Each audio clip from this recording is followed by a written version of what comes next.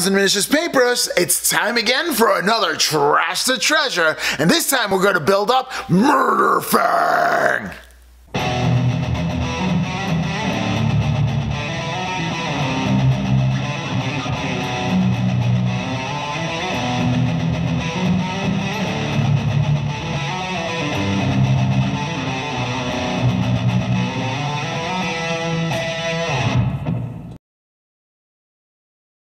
Alrighty, so time. Welcome back. Time to take this old dread that I got up from a deal from actually Ian, who is selling up. Uh, I think it's from Battle of Black Reacher or something like that, some kind of box set. But no, we're not going to need these arms right here.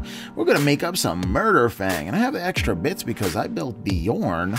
Uh, and I did a painting tutorial on Bjorn. You can catch it up here if you're interested in painting up, uh, watching how I painted up Bjorn step by step. Um, but I did have all these pieces, and I thought that was such a waste to have all these pieces and not be able to build up, you know, Murderfang or a Dread, something, you know. And it was kind of hard because I built the Primaris Dread, and oh man, that was difficult. And talking about difficult, this base is a tremendously difficult to get through. Ian, you did quite the job keeping this thing in. Rage quit. No, I'm kidding. Uh, anyway. I did rage quit. I keep moving forward. All right, so we have these panels here, and what you gotta do is you gotta, you know, dry fit them. You gotta see that this piece is gonna need to come off. So I'm gonna clip these pieces off. And, you know, this is the nerve-wracking piece for me. Like, I don't know, it's, it's something about hacking into a perfectly fine mini and just making it your own. That's, to me, is a little nerve-wracking, but I got over it because, you know, hey, it's all about the conversion when it comes to trash the treasure, right? It's all about making stuff that other people didn't want and making it into something that you can definitely use and not only use but show off, you know, kind of like bring it to the game night and watch uh watch people say, "Wow, that's that's kind of cool." You know, that's what it's all about for me anyway. So I am going to take out uh, a lot of dangerous measures like cutting with dull blades, you know, towards my actual thumb and other fingers. I'm to do that often. I don't recommend you do this yourself. I mean, you know, don't go try this at home, kids. But uh, yeah, I'm pretty reckless sometimes. As you can see, sometimes I'm just reckless, and sometimes I get injured because of my recklessness, which, if you are squeamish, I do have to say, if you are squeamish, I do cut into my finger at some point in this video. If that might be something you kind of want to watch. So there goes an Easter egg. And uh, no, I don't stop working. I just keep I just keep going. So if you're squeamish, please um, don't watch it through the end. I don't want you to get sick or anything. But if you're if that's your, kind of your thing, so you got to see something coming up. So what you want to do is uh, you want to make this area flat right here because of the uh, Storm Fang uh, imprints it's not going to fit exactly the same, and that's okay with me. Uh, it's definitely not going to fit exactly the same, but at the same time, um, you have those divots inside the actual panel that we're going to put on top of this. And since I don't have the uh, indents that's needed, I have the indents, I just don't have the outcroppings that's needed to fit perfectly, I'm going to make it smooth and then just like eye it out and make it level. So this way it's in the center of the panel, and it really doesn't make too much of a deal, uh, big deal. And you're going to see towards the end how Murderfang in itself actually develops, and I'm actually quite happy with the way it came out. The only thing I did not change is actually the tilt of the Dreadnought. That's right, his waist. I did not do his waist because I never liked that tilted version. Like that particular version, the way Murderfang is, doesn't drive me crazy. I did I've seen some conversions that are pretty sick. I'll tell you, even Primaris conversions of Murderfang, which is pretty sick as well. But uh, as far as boxy dreads are concerned, I'm alright with the box. Alright, now that I got one side all shaved down and ready to go, time to shave off the next side. I wonder if this is the part where I cut myself. Mm, I know, now you're furious, right? I do cut myself right there, but it's not bleeding, so that's not the cut I'm talking about. Oh boy! And look, I don't. The, the, the ironic and funny thing is, is that I don't learn my lesson and I keep going. It's just like I'm tempting fate. But you know, I don't know. There's something about being dangerous. I don't know. Living recklessly while painting, while uh, creating miniatures and, and painting miniatures Live recklessly. Don't don't actually follow my advice. I don't know what I'm really talking about when it comes to uh, living recklessly with miniatures and cutting yourself. Don't cut yourself. Don't just don't cut yourself. All right. But I have to tell you, uh, getting over the fear of chopping into a mini was actually quite refreshing for me. This is the first time I hacked a mini. Like, truly hacked a mini. Uh, I did another Trash to Treasure, which was a Rhino, which I added bits to, and I guess I cut some pieces out. But I don't know, I kind of I feel like this uh, miniature I actually did a lot more cutting into as I'm getting used to chopping into miniatures. Oh man, I really did cut myself there, but it's not bleeding, so hey, that's good. This is not the cut I was mentioning. All right, so um, once you're done with that, you want to turn the blade over and just like scrape the top. It's just like one of those uh, mold line removers that you can get. Uh, the back of your X-Acto blade works for me. I never had a problem with it. So I don't know. I have to try one of those mold remover lines and see if there's any real difference. Um, curious, but uh, I'm not as I'm not gonna actually buy the GW one because it's too expensive. I'd rather get my minis get more minis because I need more stuff for my pile of shame. That's how this works. Okay. Well, let's see if it fits. I want to get into the center. I want to be able to reach into the wires with um, with my paintbrush. That's a big thing. That's a big okay for me. Okay, moving on. Next up, we need to fit the centerpiece. Now, this is going to be kind of tricky because here we have two pieces that are going to fit into the centerpiece. The first piece is going to be the face, uh, insert that goes into the actual chest insert and they also have to be flat. Now, most of the middle part is going to get covered, so um, I just need to make sure that none of this stuff pops out beyond the level of where the bolts are on the outer rim. If I everything underneath that, that's fine. That can stick. In fact, the bottom piece itself might show uh, might show through just a little bit because of the way the chest plate of Murderfang is, the bottom piece might actually show a little bit through. So you don't want to cut all the way down here if you're doing the same type of conversion. Um, because you want to leave that uh, so you can you're able to paint it. But most of the top piece, anything that's poking through uh, past again that uh, border mark uh, around that uh, carapace, I guess. okay. Um, you want to kind of clear out. So we get into it and we dig into it. And this is really simple. Like, there wasn't much time that I didn't spend recording building this build. This was a really quick conversion for me because um, I just went so smoothly and it's so easy to do. Uh, so if you have like an old dread and you want to get it on eBay or something like that, uh, or a friend has one from a Blackreach box set, and you happen to build a Bjorn already, but you have these pieces, one of these dreads are very inexpensive. You can pick one up. I think I've seen it for under 20 bucks. And you can pick one up and just like chop up and go to town. All right, now I'm trying to fit in the center to see where things are going to lay. And it seems like that works. See how the bottom piece pokes out, like I said? Yeah, so just be careful with that. We're going to scrape it, just make sure that it is these bolts down here were, were causing an issue, so I got rid of those bolts as well. Hey, bolts and rivets that you take off, you don't have to pin, you know, you don't have to actually pick out with highlights. So, yay, I like that, you know.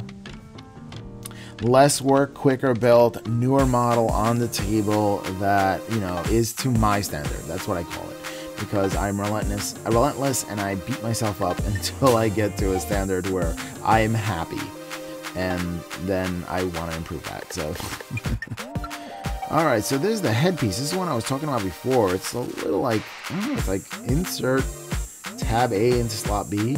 There is some definition back here. So, oh, this must be the part where I definitely cut myself. Because look at this, tiny little piece. Oh my goodness, right? Could happen now. um, I wonder if I should title this video, Just Guess When I'm Going to Cut Myself. No, no, no, no. It's from Trash to Treasure, of course. But look, I was quite uh, simple. Now, on the back of this head right here, it has an indent and it has a bulge. And the bulge is going to get in the way if you want to put it on front of the, the dread. So you have to make everything flat. Again, wanting to make everything flat so this way it can fit, snug, and fit onto the model. And all we're trying to do is actually impress this right on top of that model. And the scraping that we did before is going to allow for adhesion. What that means is when you want to bond two plastic pieces together, you don't want paint to be in the middle because it's not as strong a, of a bond. So you kind of scrape the area just a little bit to scrape off the paint or remove the paint, the area that you want to actually bond together together. And the strongest bond you're going to get is plastic to plastic, especially when you're using uh, super glue. Now, if you're using um, if you're using any kind of let's say Tamiya plastic glue or something like that, something that'll melt the plastic, well, then you definitely want plastic on plastic because it's not really going to melt the paint. It's not going to work you know so you have to have that plastic on plastic and it's just the best connection. So just make sure that if you are going to glue two pieces together make sure that it's a plastic to plastic connection and that is the best way for you to go. All right so now i'm fitting in that top piece into the chest plate and just checking out what it looks like. I think it looks great. I kind of want to dry fit it just to make sure that it's going to go on evenly and that it's flat. So I'm going to lay that in here. I'm going to put this dread on top and then I'm going to flip it over. See if it doesn't fall apart on me. Oh yeah, look, that looks great. I love it. All right, good job. I'm happy with that. So all I'm going to do next is, um, I guess I could just attach all the pieces right there in one shot. Um, I'm, I'm happy with this. all right, take the pieces off. Okay, so next up, what we're going to work on here are uh, trying to get this off the base. Now, this is the hardest part for me. I don't know how to cut this in. I tried with a with a, a screwdriver. I tried with other kind of prying material, but I need to get this off. So it's time for X-Acto blade. Now, I have a jeweler's saw, and I did not think to use it. So this is my bad for whatever happens next, right? But this has to go. It just has to go. Now, at any point in time, that blade can come and bite me. So you gotta watch out for that. Also, I might ruin the base. So I, don't want to ruin the base. So I try to actually pull this out from the bottom as well. Ah, this uh, this base gave me so much trouble. I mean, I wonder has bases ever given you this much trouble to pull apart? Like how much glue is used in your base that when you wanted to pry it open? Oh, I did it! No, I didn't. I kind of broke that. That's okay.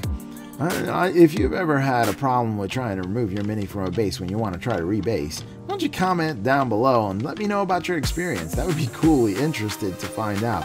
Or if you want to write a super detailed response, you could also join uh, me and Ian and Corbin on the Miniatures Paintbrush Legion on Facebook if you're interested in joining that Facebook group right there.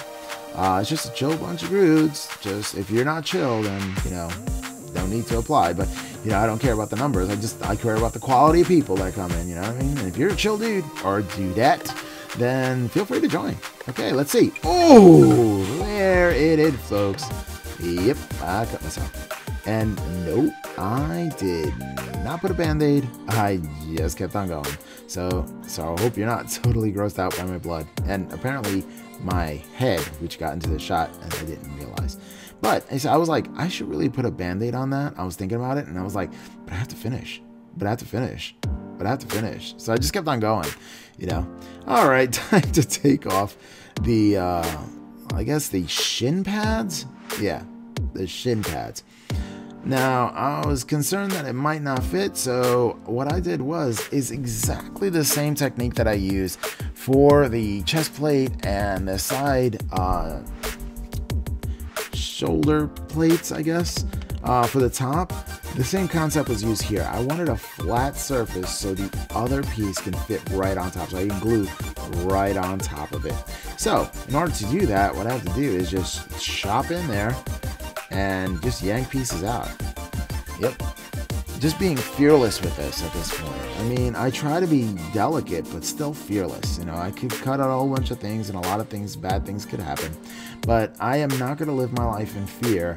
I am going to uh, move ahead and do the best that I can to uh, produce the best quality miniature that I feel I can, that I can field on the table and have a lot of fun with and get the oohs and ahs if I possibly can. I mean, that, if somebody appreciates your work, it's validated, and I just feel so like it's so worth it. Alright, now we're going to shave off some pieces just to make sure that it's nice and flat. And that's not good. Okay, so I'll just suck that and keep going. Ah, go. Blood for the blood god. Okay, now. Sorry about uh, the pressure that I'm putting on. I kind of opened up my cut there while putting on pressure. I really should put a band-aid on that. I have to forewarn you that I did not put a band. I don't think I put a band-aid on that the entire time uh, until I finished the project, which most of this project was actually done in real time. So it really didn't take me too long. Like I had a vision. I knew what I was going to do with it, and I just pretty much that pretty much filmed it just about live. It took me one session, one sit down, one done, once and done. The conversion actually was pretty easy to do. Uh, so if you do have, again, if you want to uh, convert your own, it is super simple to do. Uh, I do not recommend cutting yourself at all. So no, it actually kind of hurt. Okay. All right, time to put on the uh, shin guards, I guess you want to call them. The shin guard. Sounds like a troop, an elite troop. Hi, we're the shin guard. We're gonna come protect your shins. What? All right, so this shin piece has some uh, holes slot Bs, I like to call them, because insert tab A into slot B. They have slot Bs in there, and you got to remove that in order to fit flatly onto the shin guard piece. So you got to go in there, and what I do is I just snip, snip, snip all around, and then just pull off pieces and chunks until I feel like it's even. And that's the only way you can get to those pieces right there, so that's that. And I'm going to do the other one as well and just cutting through. You see how I'm cutting through at like a 45 degree angle and then coming into the 180 stance and just going along there. Uh, and that's that's how I got rid of that issue with the shin guards. Uh, uh, for because if I didn't get rid of these, they would poke out too far and they just look like I glued them on top of there and I didn't even care. But no, I want to make it look even. I wanted to make it fit well. And I have to tell you, when it comes to converting minis, it's just as much as an art as painting the minis, in my opinion. Because in a way, you're kind of sculpting or using pre sculpts in order to create your own thing, which is amazing. And sculpting is just, oh, it is such an art to do something on this scale. So, all aspects of the heart, a hobby are art and I do call it art. Some people say, "Well, this isn't art. You're just playing, uh, painting little toys." But you know, honestly, if you go to MoMA and you see like you know two by fours put together called art, and uh, I don't know, broken dishes on the floor or, or, something, I don't know, call that art. If you can do something like that and call it art, I'm not, I'm not putting them down or anything. That's their thing. But if that's called art, then this is called art too. That's it. That's all I'm saying. I'm trying to validate the hobby making it into artwork because there's so much time, love, and passion spent into this. And the creation of itself, the colors, the blending, and everything else, using the paint, we're using all the artist's tools to create something. Why can't it be art? So, anybody who says this uh, miniature painting isn't art, well, all I have to say is that's all I have to say. You get a razzleberry. Okay, now time for a dry fit. Now it's really important to dry fit your models. When you dry fit your models is when you put the piece where you think it might go without any glue, just to make sure that it looks right. Now some people just put some poster tack, uh, Loctite. I like the blue Loctite poster tack. Uh, I think that's the best. I recommend for anyone. And um, there was a piece that wasn't fitting, so I actually cut some of the shin guard off, just so it can fit. That's right, just a little square off. That's all it needs. And that's because the wires in the bottom didn't fit right. Be aware of how you do that. Uh, and be aware which side you want each uh, shin guard to go. I happen to want it in this pattern. So that's what I did. I, I took one and then um, I put that design on the left, the, uh, the skulls. That's the way I wanted it because you're to have to cut an indent on there. Okay, so now time to put it all together. Now is the fun part, right? Alright, so we just gotta throw that shin guard in and, making sure that that's all dry before we make sure we get the next one done, just to see how it looks. Alright, won't bore you with putting that together and watching glue dry. It's time for the fists. Alright, I'm to put the fist together as well. I'm not sure if I'm to leave it on subassembly or not. Uh, I do have a lot of subassembly pieces. Uh, I think the fists are not subassembled, but the claws are, and I'm going to keep them off into a subassembly so I can put them on as well. But uh, for the purpose of this video, I did poster attack most of it, and I found the jeweler's saw. That's right. I could have protected my fingers with this jeweler saw, but no, I chose to cut into my fingers. Good thing is, is that I stopped bleeding, so that's great. Still no band-aid though. All right, so that might open up at any time. Sorry if I grossed you out. It's just what happens uh, sometimes when you're miniature painting. Okay, time to sew this cloth because we don't need no stinking claws. I mean, maybe Santa. All right. Um, I like to drill out that's right, I drill out my gun barrels. Guys, girls, drill out your, your gun barrels. Like, seriously, drill them out. They look so fake. You can have a coolest looking model, and then you don't have the drilled out gun barrels, and it just looks fake. It looks so fake. So, a little pin vise, look, it really doesn't take much. That's it, done. Um, I, I have used Dremel tools before, but, you know, I think I'm part insane, but... and I think that's part of eating paint. I don't know. It could be. Could be. Just wick that paintbrush off right into the mouth and make me loco en la cabeza. All right. Time to put on that claw onto that uh, dreadnought. Really dreadnought. And we're really uh, coming through somewhat of the home stretch because here we have uh, the main portion of mur Murderfang. I don't think I can say it another, another way, right? It's just Murderfang. I love it. I love it. It's so kooky. I love it. Alright, so we have some claws there. Santa not included. Um, and we're going to glue uh, most of the pieces together so this way uh, we're not worried about you know any kind of sub-assemblies when it comes to the chest piece or anything like that. I don't want to paint over the scraped out bits. I want to have a plastic to plastic connection. I don't want to have it like if it needed any kind of putty or anything like that I didn't want a chance that. Uh, it would need it. I would like to take care of it at this stage or if not you know I can always use if there's like micro gaps I can always use gloss varnish or matte varnish in order to fill those in no problem but I'm gonna have to paint them up first. So I'm gonna play around with that. That's a first for me as well. So chopping into the miniature, pretty much a first for me. And using gloss medium to cover up gaps is going to be a first for me as well. So, so there it is. The fist is on, and that left fist right there, that left arm. I don't think I'm going to glue it because I can actually put it into many positions because you don't have to glue it. There you go. But this side you do have to glue because the actual uh, piece that sticks out does not fit in that hole. That hole is way too big for that piece. That's because it wasn't meant for it. But hey, you know what? That's okay. I like it on the side like that, so I'm going to keep it on the side like that and forever. Okay, time to glue together the centerpiece there with the face and watch it come alive. It's just coming alive here. I think it's so cool. Murderfang. All right, can't can't get enough of that. Can't get enough of Murderfang. I gotta do some Murderfang. All right. Murderfang is the name of this miniature. If you haven't guessed by now. Um, and if you don't know who Murderfang is, come play me at 40k. If I get him close, I can show you what he can do. that would be fun, especially with Bjorn and his uh, his claw coming through in the background too. Mmm, just some hacking up and slashing goodness. Oh, no. Alright, so again, the same premise here is actually cutting apart or, or actually scraping off the paint so I can do the shoulder pauldron.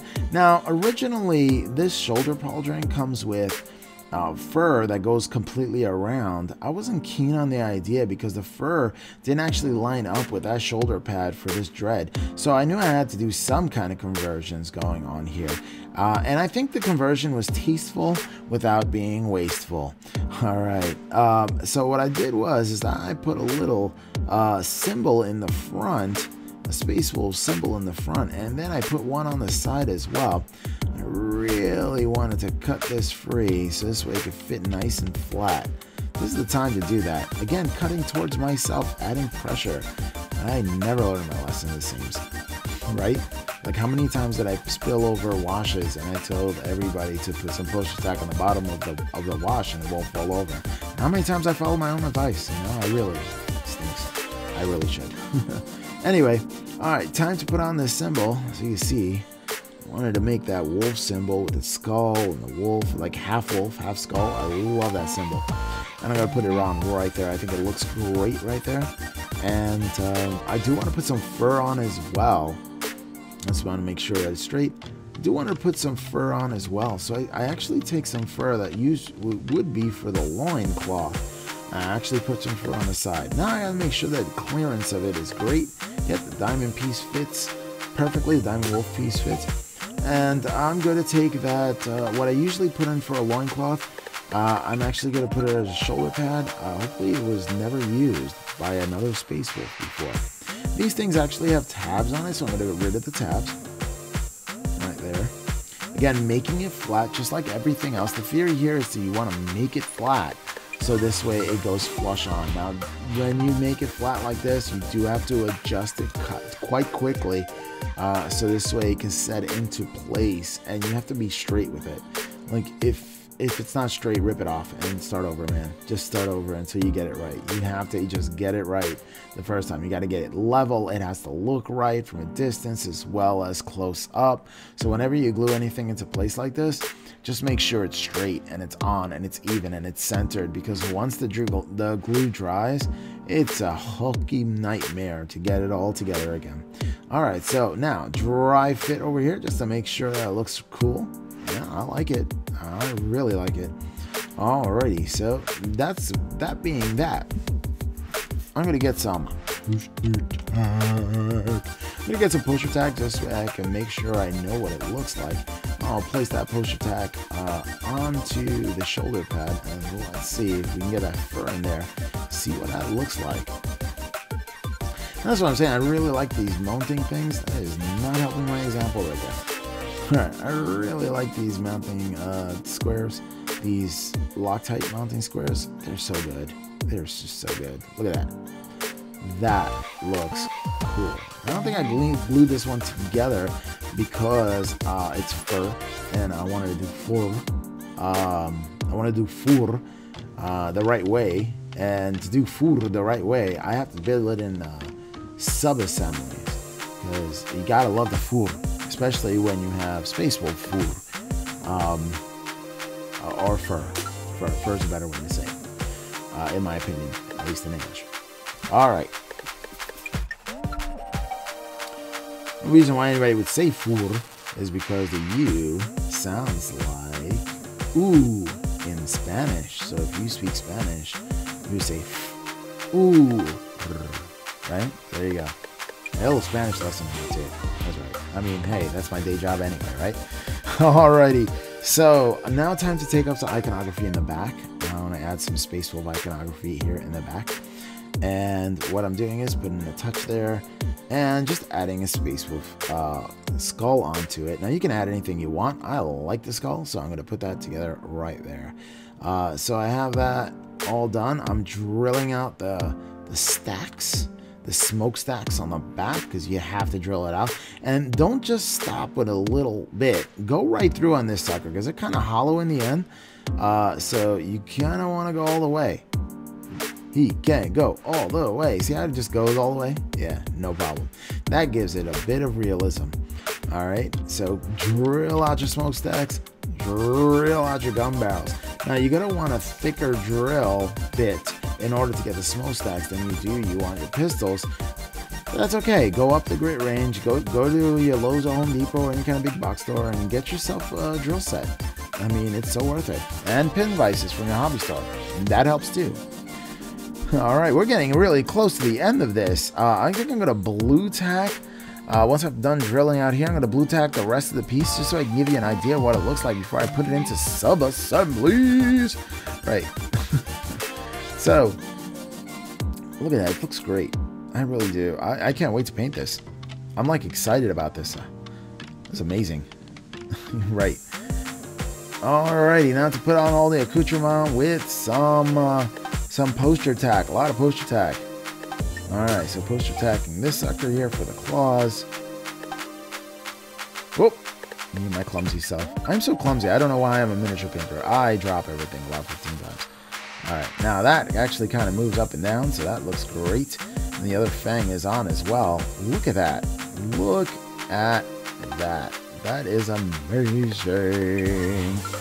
Oh man, Murderfang. I love it. I love it. I'm so happy. All right. This is this miniature is done. Catch you on the outro. Well, there it is, all built up with some blood, sweat, and tears in it. I'm not joking there. well, if y'all like this video, like, share, comment, and subscribe. And I'll catch you next time on the Miniatures Paintbrush.